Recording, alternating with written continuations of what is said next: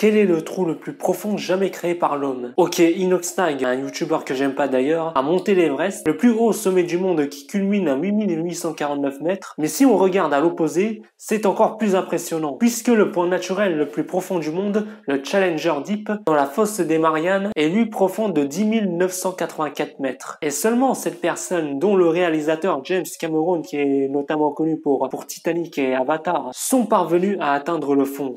C'est 5 personnes de moins que sur la Lune. C'est fou. Quelle est la personne la plus connue de tous les temps? Des étudiants du MIT ont rassemblé une tonne de données pour essayer de déterminer quelle est la personnalité la plus influente. Et leur euh, système baptisé Panthéon se met à jour chaque année en fonction des nouvelles informations. Bon, la personne la plus connue selon Panthéon est Inoxtag. Non, je déconne. Vous imaginez bien que les plus grands influenceurs, euh, Influenceur, je devrais plutôt dire vidéaste, parce qu'influenceur, j'aime pas ce mot, ne rentre pas dans ce classement. Les politiques, peut-être. Absolument pas, parce que eux se limitent justement qu'aux frontières. Quant aux stars de renommée internationale, pas genre Inoxtag, quoi, mais genre plutôt Michael Jackson, ils ne sont pas non plus dans ce classement pour une raison très simple, parce qu'ils sont tous trop récents. Et oui, parce qu'on parle de personnes les plus connues, mais depuis le début de l'humanité. Alors euh, voici pour vous le top 10. Alexandre le Grand qui fait 1m80 comme tout le monde. Marco Polo, Beethoven, Platon, Aristote, Léonard de Vinci, Gengis Khan, Jésus de Nazareth qui est à l'origine du christianisme, Isaac Newton, plus grand physicien de l'histoire. Et enfin en première place,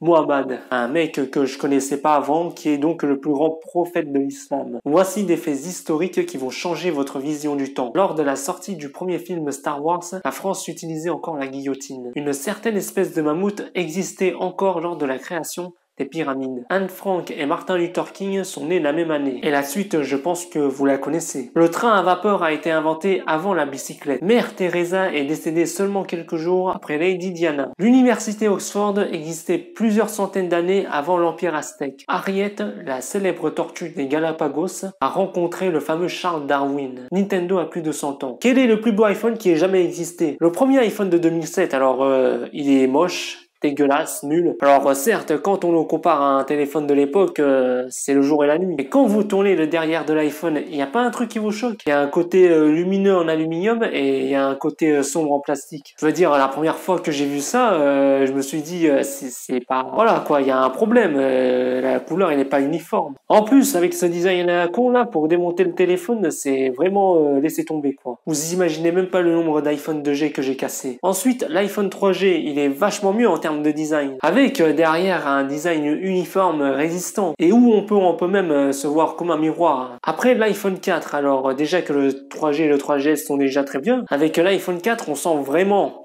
qu'on a payé 500 boules dans ce téléphone. On sent qu'on est vraiment en face d'un produit de luxe, quoi. Un produit de luxe et solide que, genre, si je l'écrase dans la main comme ça, et eh bah, il, sera intact, quoi. En 2012, comme vous le savez, vient l'iPhone 5. Alors déjà, il y a un truc qui me déplaît. Pourquoi ont-ils changé la taille des écrans? Je veux dire, 3,5 pouces, c'était bien, c'était même parfait. Pourquoi à la fin se sont-ils amusés à faire des téléphones qui ne rentrent même plus dans la poche? Ensuite, derrière, en plus euh, qu'ils soient super fragiles, eh bien, pourquoi Tim Cusier a décidé de mettre une partie en verre et une partie en aluminium en même temps? Un peu comme l'iPhone 2G, euh, faudrait m'expliquer ça, parce que c'est moche ça. Ensuite, l'iPhone 6 que je n'ai pas, on continue dans le n'importe quoi, avec un écran plus grand, encore comme si c'était pas assez, et, euh, une bande derrière en plastique pour les antennes sans fil qui est super disgracieuse, j'ai envie de dire. L'iPhone X, alors j'ai envie de dire tous les iPhones du X jusqu'au 16, quoi parce que c'est à peu près la même chose. Eh bien, le problème avec cela, c'est que la concurrence, elle a beau faire des téléphones, des téléphones vraiment borderless, et euh, littéralement, et plus récemment, des téléphones qui se plient en trois même. Alors que l'iPhone, eh ben, ils ont toujours euh, des euh, petits trucs, là, des capteurs là, qui pourrissent son design. Du coup, en conclusion, quel est le plus beau iPhone qui ait jamais existé? Prenez n'importe quel Android.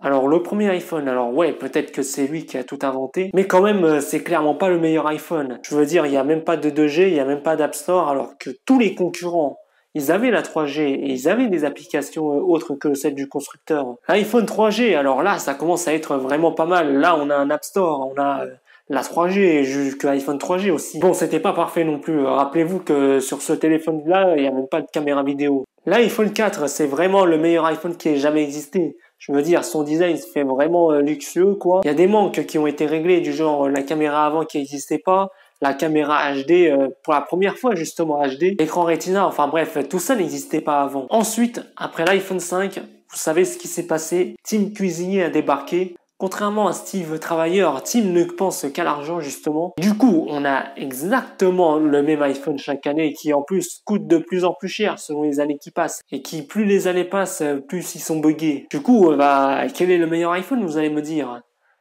Bah, Le meilleur iPhone, c'est les téléphones Android.